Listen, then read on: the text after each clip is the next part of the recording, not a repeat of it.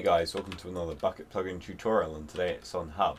So this is a really awesome plugin, um, similar to Hub Essentials where it gives you more items um, which you get when you spawn in and there is some very very awesome things and it works really really well so I would definitely recommend this plugin. So first of all we're going to want to set the hub spawn. Yes we are, so if you do set hub that sets the spawn and um, while we're at it we will have a look at the items we have in our inventory. So first of all, we have the enable stacking. So if you've been on Mineplex, you know that you can jump on people's backs uh, if you've got it enabled, and if not, uh, people can't do that. So that, that's nice. Uh, then we move on to the trails, and as you can see, I've got one behind me. Um, you can uh, change them uh, depending on which ones you want. Um, that one's quite annoying, but my favourite is the rainbow one. That looks very, very nice. Uh, so yeah, fire, on fire. So then we move on to pets, and this is really cool because you don't need Echo Pet or another plugin. You just uh, click the pet you want, such as a wolf, and it spawns in that says LT Jim's pet. Um, and I presume you can give permissions to use these, so that's really cool. And you can just delete the pet and delete the trail. So yeah, just however you want. then we move on to the magic clock, which I presume everyone knows what this does. Uh, it just makes everyone else invisible or visible depending on how many people are there and whether you're lagging or not. So that's really, really cool.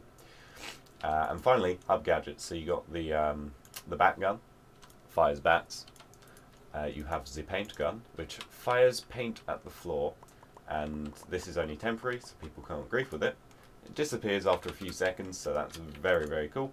You have the particle gun, which fires an ender pearl, and that explodes into particles, and the magic bomb, which is a bit strange, but uh, spawns uh, a villager and then particles. So yeah, if you do forward slash s hub, uh, you can see all of the commands. So here they are, and you can edit these. So um, for example, double jump uh, like this. Uh, you can change that by doing s hub, double jump, and then specifying a power such as eight. Now eight's pretty strong, so I'll probably hit the clouds. Uh, there I go. So that's really, really cool, and you can just change that um, how you want. So 4, mm, bit strong, 3, that's slightly better. It also comes with pressure pads, which um, are very, very nice.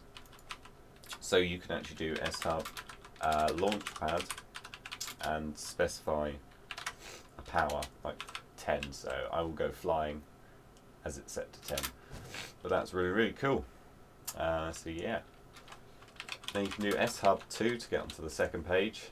Um, you can also, by command or via the configs, set it to um, day only and sun only. So that's really awesome. I mean, you wouldn't want rain and nighttime on a hub unless you were doing some sort of um, special server.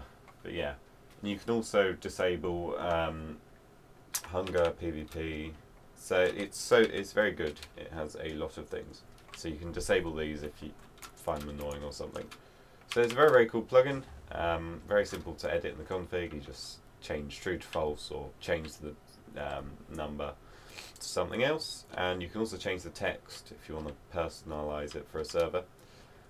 And with that, um, I think it's pretty self-explanatory. So thanks for watching. Down the link below, and I will see you tomorrow probably.